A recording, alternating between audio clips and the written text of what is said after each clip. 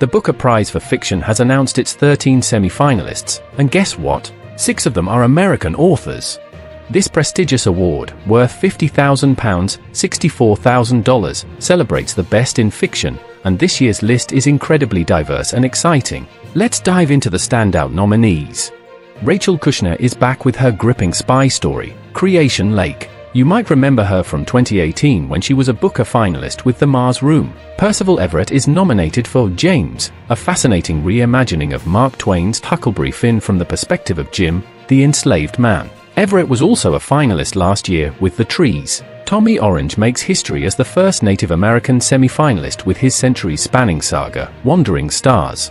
He's already a Pulitzer Prize-winning author. Richard Powers, another Pulitzer winner, is nominated for Playground, a compelling tale of money, power, and climate change set on a Polynesian island. Rita Bullwinkel impresses with her novel Headshot. Claire Messud, a Canadian-American writer, captivates with this strange eventful history, but it's not just American talent shining this year.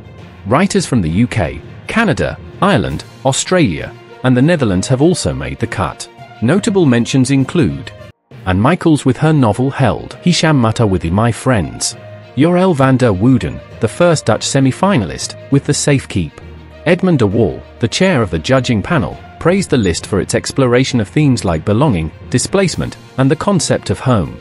The settings of these novels are as diverse as the authors themselves, ranging from small Irish towns to Australian convents, and from deep oceans to outer space. Stay tuned as we bring you more updates on the Booker Prize and other literary news. Don't forget to like, share, and subscribe for more updates hit the bell icon to stay notified of our latest videos.